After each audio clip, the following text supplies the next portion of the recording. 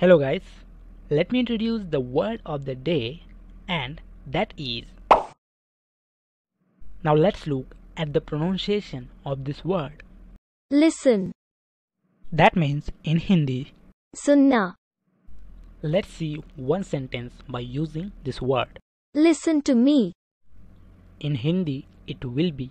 Meri baat suno. If you also want to learn daily useful words of English, then just subscribe the channel and you can also press the bell icon for notification.